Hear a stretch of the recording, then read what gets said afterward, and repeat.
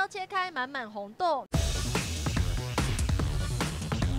浓浓麦香的欧风面包，正威耀华员工抢着买，更是红海集团总裁郭董开会指定必备餐点。他的法式面包还蛮有名的，他又不可能翘班一直来我们这边买面包。正威啊，包含红海啊，都希望我们去他们的厂里面设分店。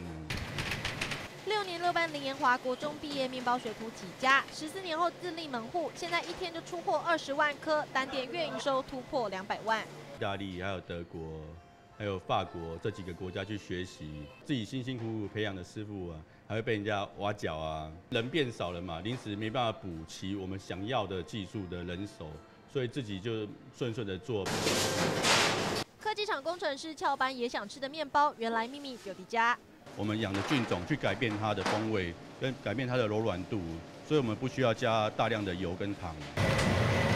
用天然酵母的面团一大桶蔓越莓大方撒，反复发酵三次过后，还要帮柔嫩面皮整形。据说这蔓越莓是郭董的最爱。拍揉面团的时候，你不能用手指去戳到它，你戳到它，它破皮的话，它保气性就会不好。相对的，你保气性好的话，它烤出来的面包的体积跟外观就会非常的漂亮。送进石板烤炉。两百一十五度高温等十六分钟，红海人团购最爱蔓越莓 cheese 就能满室飘香。这间很有名，在我们厂区里面，所以常大排长龙，所以有时候就过来吃。面包学徒摇身烘焙大亨，靠扎实用料拼出千万商机。东森财经新闻江明星何坤源台北报道。